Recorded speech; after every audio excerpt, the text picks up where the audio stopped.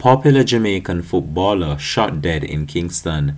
Hi again and welcome. This is Links 007 TV News Report and we'll be right back with the full details to come. Welcome to Links 007 TV News Report, providing you with the best in local and international news updates.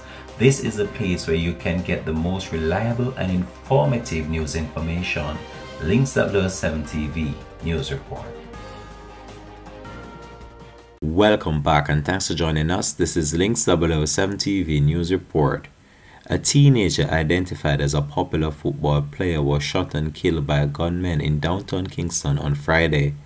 The deceased has been identified as 18-year-old Omar Laing, a former footballer and former football player of the St. Andrew Technical High.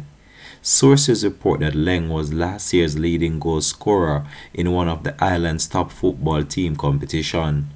Reports are that around 6.45 p.m., Laing was standing at the intersection of Charles Street and Orange Street when he was shot. His attackers escaped in the area. The victim was rushed to the hospital where he succumbed to his injuries.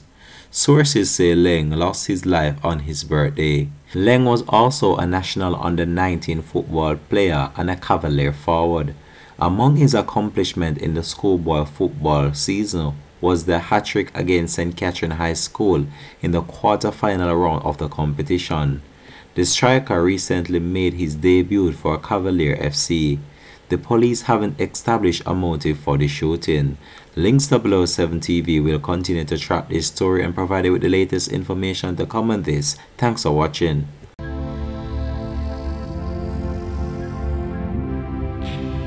Links TV Entertainment with a difference.